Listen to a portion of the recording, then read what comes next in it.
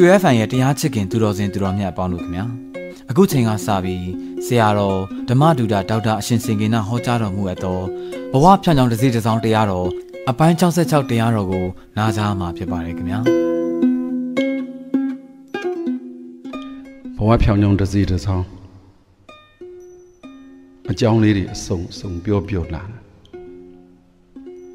ဒီရက်ထဲတော့ ပညာရေးနဲ့ပတ်သက်ပြီးတော့ပူသတိရတယ်။ဘာဖြစ်လို့တုံးဆိုတော့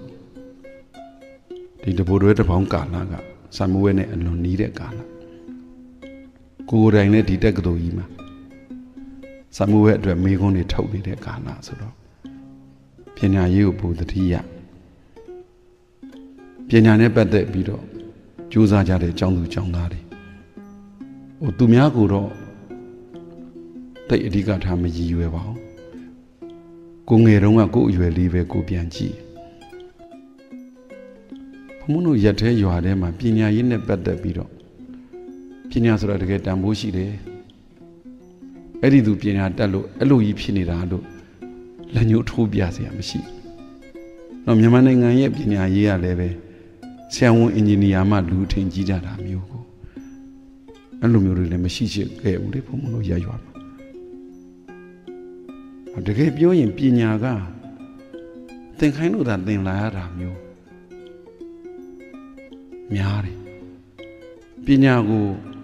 နှစ်နှစ်ချိုက်ချိုက်ခုံခုံမင်းမင်းတန်ဖိုးထားထားနဲ့သင်နေဆိုတာတော်တော်ရှားတယ်ဒါဖုံဖုံအနေနဲ့ပြောရင်တော့ပညာကိုနှစ်ချိုက်ခုံမင်းနေဆိုရင်တော့သင်ချာကိုခုံမင်းကျန်တဲ့ပညာတွေကိုသိမခုံမင်း ဒီတွေ့ရချက်ရတာလေးတွေကိုသဘောကျတယ်စဉ်းစားတွေးခေါ်ရတာလေးတွေသဘောကျအဲနောက်တစ်ခုရှိသေးတယ်ငယ်တုန်းကသင်တာသမိုင်းဆိုရင်လည်းသမိုင်းတို့ဘာလို့သဘောကျတံပညာသင်တဲ့နေရာမှာဘာတော့တွေးရတော့ဆိုတော့အမှန်ကဘုံဘုံကလူအများပြောနေပြောရင်ဆရာဝန်ကြီးဖြစ်လို့ဒါလူတွေကဆရာဝန်ကိုအထင်ကြီးကြတာ ပညာရေးနယ်ပယ်မှာဆရာဝန်ဆိုရင်ဒါပညာတတ်ကြီးအင်ဂျင်နီယာဒုတိယအင်ဂျင်နီယာတော့ဘုံဘုံတို့ကအဲကြီးတိုင်းနဲ့ပြီးခဲ့ရတယ်အာရိုင်းဒီတောင်မတက်ခဲ့တက်နိုင်တဲ့အရေးချင်းရှိရတာနဲ့ဘာလို့မတက်ခဲ့တာတော့မလို့မင်းရင်တော့ပြောစရာတွေအများကြီးတရားနေရှစ်တန်းထိအတန်းတိုင်းပထမပထမပထမရခဲ့စာကြိုးစားဖို့ဆိုတာ ဒီចောင်းသားတယောက်တည်းဖုံဖုံတယောက်တည်းကဖုံဖုံငယ်တုန်းကចောင်းသားတယောက်တည်းကကြိုးစားဖို့အသိမလို့အများကအားပေးမှတိုက်တွန်းမှစောင့်ရှောက်မှကူညီမှအဲအဲ့ဒါမှဖြစ်ဖို့များတာနောက်ဒီပညာပညာရေးမှာအသွင်ခွန်တိုက်ကြိုးစားဖို့ဆိုတာလေဘုံတို့ဘုံတို့ကဆင်းရဲတယ်ဆင်းရဲတော့ อืมခုနှစ်တန်းရှစ်တန်းဆိုတော့ဝတ္ထုတွေဖတ်ပြီကာတွန်းတွေဖတ်ပြီဟိုရွှေသွေးတို့တေစားတို့ကတော့ငယ်ကလေးကဖတ်တာပေါ့လေဒီစာရေးဆရာတွေရေးတဲ့ဝတ္ထုတွေဖတ်ပြီတက္ကသိုလ်ဖုံနိုင်တက္ကသိုလ်တင်မြင့်တို့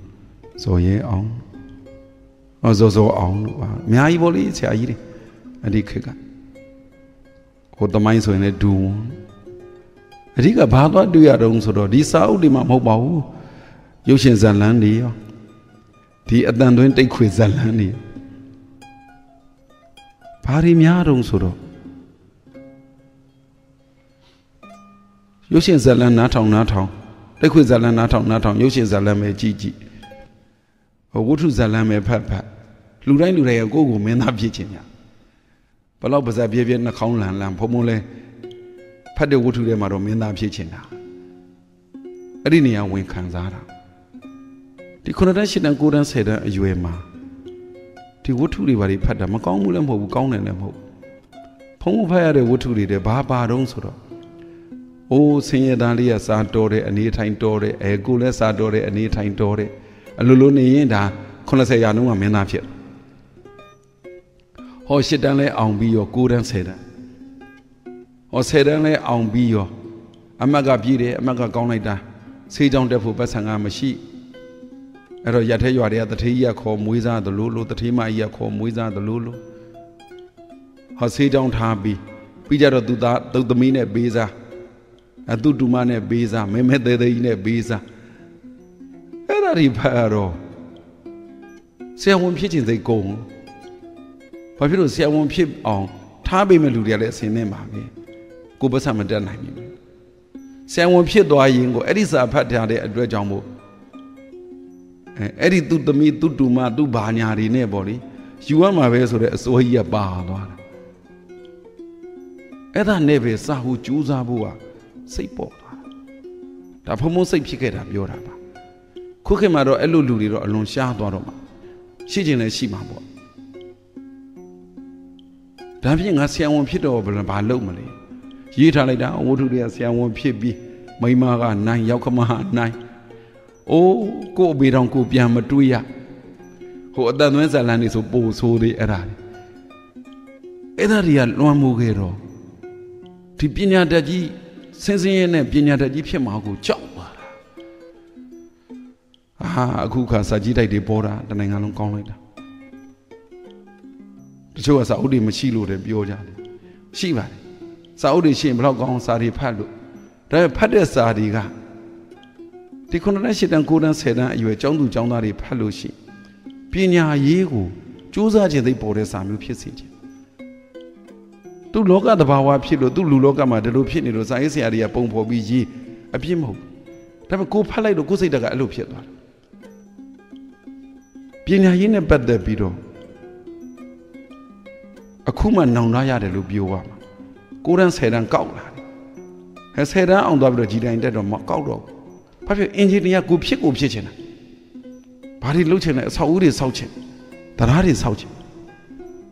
အာအင်ဂျင်နီယာကျောင်းတော်ဆိုဖတ်တာပေါ့အင်ဂျင်နီယာတက်ကျောင်းတက်နေတဲ့အချိန်ဟိုဆိုဗီယက်ယူနီယံရေးတဲ့စာတွေတို့တို့အမေရိကန်ရေးတဲ့စာတွေဖတ်တာပေါ့ဘယ်လို့လဲဆိုအထက်တရာဘလို့ဆောက်တယ်လေ ဘလို့ဆောက်တယ်လဲဆိုတော့ဟိုလွယ်လွယ်လူအဲ့တုန်းကဖတ်ထားတဲ့စာကိုလွယ်လွယ်ပြန်ပြောရင်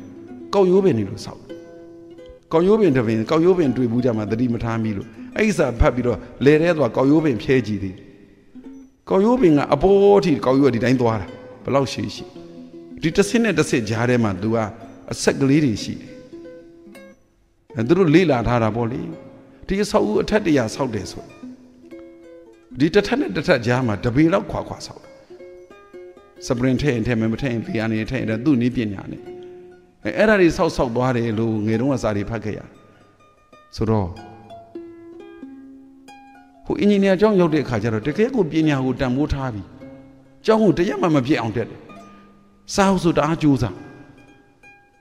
အဲကျောင်းတရက်မှမပြည့်ဘူးဆိုပေမဲ့ကျောင်းတရက်ဟို 15မိနစ်လေးနောက်ကြလို့ကျောင်းတက်မှန်စုရွှေတစိမ့်စုမရတာနောက်ကြုံရင်ပြောပြအောင်ကျောင်းကိုအချိန်မပြည့်အောင်ကြိုးစားလာတယ်ကိုကိုယ်တိုင်ပညာကိုတန်ဖိုးထားလာတဲ့အခါကျတော့အဖေအမေပတ်ဝန်းကျင်ကတိုက်တွန်းစရာတော့မလိုကိုကိုတိုင်ကပညာရေးကိုတန်ဖိုးမထားတဲ့အခါကျရင်မိဘတွေကဘလောက်တိုင်တွန်းတွန်းမိဘမသိအောင်ခိုးလုပ်တာ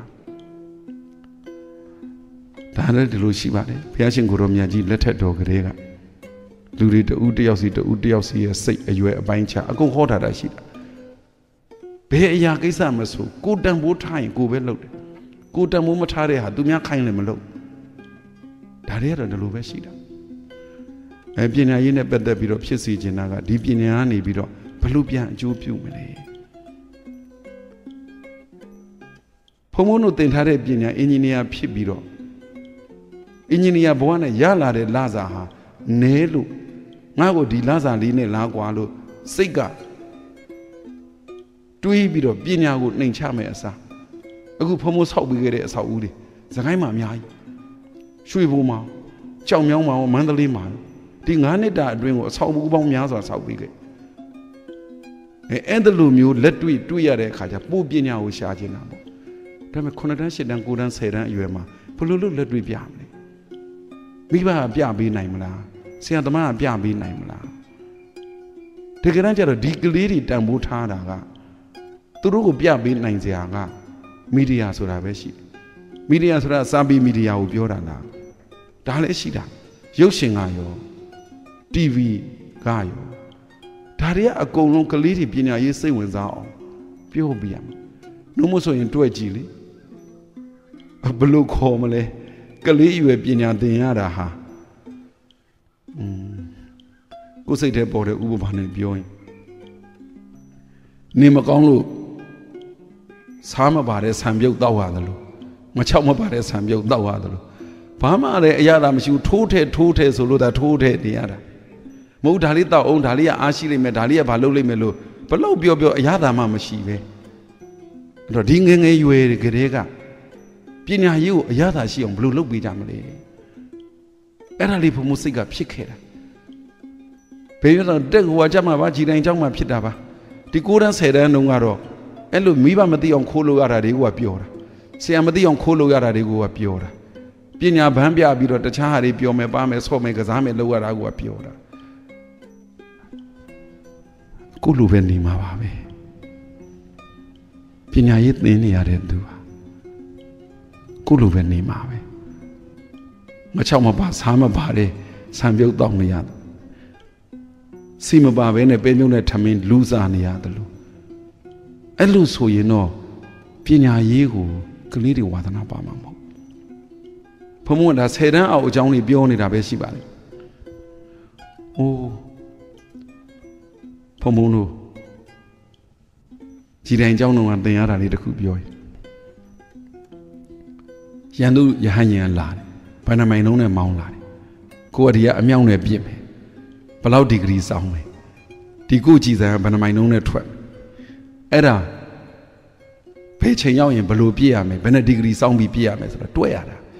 ဘလောက်ပျော်စရာကောင်းတော့နေမကောင်းလို့ဆံပြုတ်တော့အောင်တော့အိုးကြက်သားကြော်လေးနဲ့တောက်ရတယ်လို့အဲ့လိုအဲ့လိုအရသာရှိတာတခါလေးစဉ်းစားကြည့်တယ်အဲ့ဒီကြီးတိုင်ကျမ်းမှသင်မဲ့စာတွေခုနတရှစ်တန်းကလေးကသင်ရတာပဲ ကိုအဲ့ဒီကလေးကဒီ geometry တို့ algebra တို့ဘာတို့ဒါတွေသင်လို့ရတာပဲအဲနည်းနည်းလေးဒီပညာရေးကိုစိုးစိုးဖတ်ဖတ်လေးဖြစ်စီချင်တာပြောမလားကြက်သားကြော်လေးထည့်ပေးစီချင်တာပြောမလားမသိအဲ့လိုဆိုရင်တော်တော်ပျော်ကြမှာဒါဖုံမောကသင်္ချာဝါသနာပါလို့လေအဲတကယ်လို့ဟိုသင်္ချာဝါသနာမပါဘူးစာကြက်တာဝါသနာပါတယ်ဆိုရင်လေစာကြက်တာနဲ့ပတ်သက်ပြီးတော့စုပြေစရာတွေအများကြီးပါပဲ စောသူမြန်မာစာနဲ့ပတ်သက်ပြီးတော့ပြောရင်တော့အဲຫນွေဥကာလမြူထားသောအခါရင်းတောင်ရင်းဆွဲဆောင်းမြဲဦးလွယ်ကဒါနိထက်စွာခါမှချက်လေဒါတွေပေါ့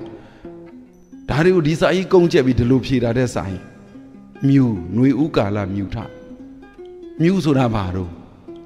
မြူဆိုတာထရီတစ်မြူနှစ်မြူတအိုးနှစ်အိုးကိုခေါ်တာလားမြူဆိုတာဘာလဲတကယ်လက်တွေ့ကျောင်းသားတွေကိုခေါ်သွားလားခုလိုຫນွေဥကာလဆိုရင် ဆောင်းကုံတွေအကူမှမြူတွေထားတယ်မြူဆိုတာဘာလဲအိုးရုပ်ရှင်ကြည့်ရင်ကြည့်ပေါ့တောင်ကိုဝေဝေအဲမြူကြီးဆိုင်ဆိုင်လို့ရှိတောင်ကိုကြတော့ထိတ်မှဝေနေတာမြူကြတော့မြူအခြေလို့ပါထားပြီးသားလေမြူဆိုတာအောက်ခြေမှာကပ်ပြီးဖြစ်နေတာအဲဒါလိုက်ကြည့်တာဒါမြူဟေ့ဟိုကလေးတွေအဲ့လိုလေးလာရေးတွေဘာတွေသွားကြရင်ဘလောက်ကောင်းလိုက်မလဲငယ်ကလေးကပေါ့လေဒါဆယ်တန်းစာဆိုလို့သာနှွေဥက္ကလာမြူထားတော့ခါပြောတာ တကယ်စာသင်ရတာကိုလက်တွေ့နဲ့ဒါတွေဒါတွေပါပဲလို့ဟိုသင်ပေးရင်ဘယ်တော့ကောင်းမလဲဟိုကကစုံမင်းရေမာရွှင်ကြားဘူးတာပါကကစုံမင်းရေမာရွှင်ဆိုတော့ကစုံမင်းရဲ့ရေမာပဲပေါက်တယ်လို့လို့ကုန်းမှာပေါက်တဲ့ကစုံမင်းလည်းရှိသေးတာအဲအဲ့ဒါလိုမျိုးတွေကစပြီးတော့ဒါကိုသိတဲ့လောက်လေးကိုပြောတာကိုငယ်ရခံစားခဲ့ရတာလေစာသင်ရတာပြင်းချောက်ချောက်ကြီးဆိုအရသာမရှိဘုံဘုံတို့တရားဟောပေးလေအဲ့ဒါပဲ ခုတသနာဖောင်ရောက်လို့တရားဟောပေးလေပြင်းချောက်ချောက်မဖြစ်စေရအောင်ဖျားဟောထားတဲ့တရားဒါဒါပဲကြက်အနိစ္စအနိစ္စပြီးရောဒုက္ခဒုက္ခပြီးရောအဲ့လိုမျိုးတော့မဟုတ်အနိစ္စဆိုတာဘာလဲလို့သူကလေးအရွယ်ကလေးအရွယ်အနိစ္စမြင်အောင်လူကြီးအရွယ်လူကြီးအရွယ်အနိစ္စမြင်အောင်အဲအဲ့ဒါလိုလေးတွေလက်တွေ့လေးတွေနဲ့ဆိုဘလောက်ကောင်းလိုက်မလဲပေါ့ဟိုအဓိကကတော့ပညာရင်းတော့တွဲ့ကြည့်ဟိုမူဂျိုကလေးကစခဲ့တာမူလာတန်းတငယ်တန်းပေါ့ နောက်တစ်တန်းနှစ်တန်းသုံးတန်းလေးတန်းအခုခုနှစ်တန်းရှစ်တန်းကိုးတန်းဆယ်တန်းတခါလာလဲစားတခါလာလဲစားတခါလာလဲစားသေခြင်းလဲသေပါစီတော့ဒီဆံပြုတ်တော့မတော့တော့ဘူးထီတောင်ဖြစ်အောင်မှာနေမှမကောင်းနေမကောင်းသေခြင်းလဲသေတော့တော်ပြီပညာဆိုတာတက်ခြင်းလဲတက်မတက်ခြင်းလဲနေတတိဖြစ်ခြင်းပညာတက်မှတတိဖြစ်မဖြစ်ခြင်းလဲဖြစ်မဖြစ်ခြင်းလဲနေတော့တခါတန်းလေးငါချောက်မပါချက်သားကြောင့်မပါဆံပြုတ်အဲအဲ့လိုကြီးများဖြစ်နေကြရင်ပညာရေးကတော့ကလေးတွေစိတ်ပါမှာမဟုတ် ဒီပညာသင်တဲ့သူတွေစိတ်ပါမှာပညာတန်ဖိုးထားမှာဟိုနောင်ရေးပညာတန်ဖိုးထားတာတဲ့အခုသင်နေရရင်းနဲ့ကိုစိုးစိုးဖတ်ဖတ်ပြည်ပြည်လေးအရသာရှိရှိလေးဆိုဘယ်တော့ကောင်းအဲဒါအပြင်ကတော့ဒီသင်တော့ကဒီပညာတွေတတ်သွားရင်တရားတွေစောက်သင်မှာပေါ့ဘုံဘုံတို့အိမ်မှာမိဘတွေကအရင်တော့ကတော့ခေါ်တဲ့ဟာလေးတော့မေ့သွားပါပြီဟိုစာလုံးစီတာတော့ topics လို့ခေါ်တာပေါ့ ဒီဘိန်းတွေနဲ့ဝက်ဥတွေနဲ့ဟိုရာဘာဘိန်းတွေနဲ့ကရိန်းစင်တာတွေပါတယ်အကုန်ဝယ်ပေးတယ်တရားဆောက်တာတွေလုပ်ပေးတယ်ကားတွေလုပ်တာတွေလုပ်ပေးတယ်ကစားစရာလေးအဲ့လိုတင်ထောက်ကိုခုပြောတာတင်ထောက်ကိုပြင်စည်းနေဆိုရင်ကိုဒီလိုအိမ်ဆောက်လိုက်ရင်နောက်ဒီလိုအိမ်ဆောက်ရမှာပါလားကိုဒီလိုတရားဆောက်လိုက်ရင်နောက်ဒီလိုတရားဆောက်ရမှာပါလားဆယ်တန်းဆိုရင်ဆယ်တန်းလေးအောင်ရုံလောက်ရည်ရွယ်ချက်ထားနေအဲ့ဒီကလေးကဆယ်တန်းအောင်ပြီးတာနဲ့အမျှတက်ကတူကြတော့ဘယ်လိုက်တက်လို့တက်ရမှာမသိ ဆေးကြောင်တက်ပြီးမှဒုတိယနှစ်တတိယနှစ်နောက်လို့ရောက်လို့ပြင်းလို့ပြန်ထွက်တဲ့သူတွေတပုတ်ရေကြောင်တက်ကတူမလိုက်နိုင်လို့ပြန်ထွက်ရင်ကွန်ပျူတာတက်ကတူစိတ်မပါပဲပျက်စီးကုန်ရင်အမှန်ကမိဘတွေဘက်ကလည်းသားသမီးတွေကိုပညာရေးနဲ့ပတ်သက်ပြီးတော့ဟိုးထိလမ်းကြည့်စေချင်တာသားသမီးတွေကလည်းစံမွေးအောင်ယုံနေမဟုတ်ဘဲနဲ့ဟိုးထိလမ်းကြည့်စေချင်အခုဆယ်တန်းဆိုရင်ဆယ်တန်းအောင်ဖို့ဂုံတူးရဖို့1 to 10ဝင်ဖို့ the whole farmer fast ရဖို့ဒီလောက်ကလေးတွေကြည့်တာကအမြင်ကျင်းတာ ဘာပြောပြောသူတို့ကိုမျောလင်းချက်ပေးပြီးတော့ဒါတွေဒါတွေလုံနိုင်တယ်ဒါတွေဒါတွေလုံနိုင်တယ်လုံခွင့်ရတယ်ဟာအဲ့ဒီအဆောက်အဦကြီးကတော့ဘုံဘုံဥစိကနာဆောက်သွားတာဘုံဘုံဆောက်ထားတဲ့ college တခုအခုစကိုင်းမှာတက္ကသိုလ်လုပ်တော့မယ်ဘုံဘုံကိုယ်တိုင်မြေကြီးကနေစာပေးတူဆင်းပြီးတော့လုပ်ခဲ့ဒါဆိုရင်ဒီစားတွေသင်လို့ဒီလိုဆောက်ရတာဒါတို့သမီးတို့ကြလည်းဒီလိုဆောက်လို့ရတယ်တက္ကသိုလ်ကြီးဘယ်သူဆောက်ထားတယ်ဘယ်ဟာဆောက်ထားတယ်အဲအဲ့ဒါလိုမျိုးပေါ့ကိုယ်အင်ဂျင်နီယာဆိုင်ရာပြောပြ ဆရာဝန်ဆိုရင်လည်းဘသူ့ကိုဘသူကကုပေးလိုက်တာဘသူ့ကိုဘယ်တော့မှဘာနဲ့လှုပ်ပေးလိုက်တာကုပေးလိုက်တာအဲဥပဒေဆိုရင်လည်းဘယ်တော့မှဟေ့ရှိနေလိုက်ပြီလို့ဘသူအဲ့ဒါလိုမျိုးမိဘတွေကတာသမီတွေကိုပြောပေးပြီးတာသမီတွေက10တန်းဆိုရင်လည်း10တန်းအောင်ယုံလေးမကြည့်ကြနဲ့10တန်းအမှတ်ကောင်းယုံလေးမကြည့်ကြနဲ့10တန်းပြီးရင်ဘယ်ကြောင်းတက်မယ်ဆိုတာကို9တန်း10တန်းကလေးကသိထားအဲ့ဒါမှကို့ဘဝကဖြောင်းအောင်သွားလို့ရတယ် အခုကဆယ်တန်းထိလာတော့ကစားစားစားဆယ်တန်းလေးပြီးတော့ဗျတ်ဆိုကောက်ကွေတွန့်လိမ့်ကုန်အဲ့လိုမျိုးတွေတော့မဖြစ်စေချင်ဒါတော့ကျောင်းသူကျောင်းသားနဲ့တင်ဆိုင်တာမဟုတ်ပါဘူးအားလုံးနဲ့ဆိုင်တာမိဘနဲ့လည်းဆိုင်တယ်ဆရာသမားနဲ့လည်းဆိုင်တယ်အားလုံးနဲ့ဆိုင်တယ်တိုင်းပြည်အုပ်ချုပ်မင်းလုပ်ကြတဲ့သူတွေနဲ့လည်းဆိုင်တာအဓိကတော့ကာယကံရှင်ပိုးဆိုင်တာပေါ့ကျောင်းသူကျောင်းသားပိုးဆိုင်တာပေါ့ဒါဘုံဘုံတို့အင်ဂျင်နီယာဖြစ်ပြီးတော့ ကို့အကျိုးအများအကျိုးအဓိကအဖြစ်တိုင်းပြည်အကျိုးဒီလောက်ထိဆောင်ရွက်ခဲ့တယ်ဆိုတာစာမွေးအောင်ဖို့တခုတည်းကြည့်လို့မို့ရှေ့ကျိုးကြည့်လို့စာသင်ကလေးက66သွေးတွေမတင်မနဲ့ရှေ့အနာကမျောကြည့်ပြီးစိုးစိုးပြေးပြေးသင်ငယ်လို့အဲ့ဒါကြောင့်မို့ဟိုဘုံဘုံတို့ဘဝဖြောင်းလာတဲ့တိုးတက်တယ်လို့ပြောတာပါဒါအင်ဂျင်နီယာကျောင်းမှတွေ့တဲ့ချက်တာသင်မဲ့ဟာ9တန်း10တန်း9တန်း10တန်းကလေးသင်လို့ရတာပဲ ဟိုမှာ10ဘုတ်သင်မဲ့အစားဒီမှာတဘုတ်သင်ပေါ့ဟိုမှာ10မျိုးသင်မဲ့အစားဒီမှာ2မျိုး3မျိုးသင်ပေါ့ဘာပြောပြောဟိုစစ်သားဖြစ်ခြင်းတဲ့သူဟာရဟရင်ပြစ်ချတဲ့နီးတိုင်ရင်ဒါလည်းပြောတာပဲဒါမှမဟုတ်ရင်တရားသူကြီးဖြစ်ခြင်းတဲ့သူဟာဘယ်လိုဘယ်လိုအမှုဖြစ်ကြတဲ့အခါမှာဘယ်လိုဆုံးဖြတ်တယ်ဆိုတာသိရင်ဒါလည်းအသိဉာဏ်တို့ပြောတာပဲတကယ်စားကြီးမဟုတ်ဘဲနဲ့လက်တွေ့မှာပါအသုံးချလို့ရတဲ့ပညာတွေပါများ ဒီသားတွေသမီးတွေသင်ခွင့်ရရင်သင်ညရင်ဟိုအရသာရှိရှိအစားတော့စားရတယ်လို့ပညာရေးကိုအရသာရှိပြီးတော့သူတို့ကိုယ်တိုင်ကြိုးစားကြပါလိမ့်မယ်သူတို့ကိုယ်တိုင်တန်ဖိုးထားပါလိမ့်ဆံမိုးဝဲအောင်ယုံနေမဟုတ်ဘဲနဲ့နောင်အနာဂတ်မြို့ရွာနိုင်ငံတိုင်းပြည်အတွက်ပါမျှော်ကြည့်ပါလိမ့်အဲ့ဒီမြို့ရွာအနာဂတ်တိုင်းပြည်အတွက်မျှော်ကြည့်ရင်းနဲ့သူ့အတွက်ပါပါသွားပါအဲ့ဒါကိုဘဝဖြောက်အောင်ဘုံဘုံတို့ကလမ်းကြောင်းရှင်းပြခင်းပြတာပါ အဲ့ဒီအတိုင်းရှောက်လန်းနိုင်ကြပါစေဝိုင်းဝန်းဆောင်ရွက်နိုင်ကြပါစေဘဝဖြောက်အောင်ပြီးတော့လိုရာခရီးပန်းနိုင်ရောက်အောင်မြင်နိုင်တဲ့အများအကျိုးဆောင်ရွက်နိုင်တဲ့တိုင်းပြည်အကျိုးဆောင်ရွက်နိုင်တဲ့သားကောင်းသမီးကောင်းတွေဖြစ်ကြပါစေကုန်သတည်း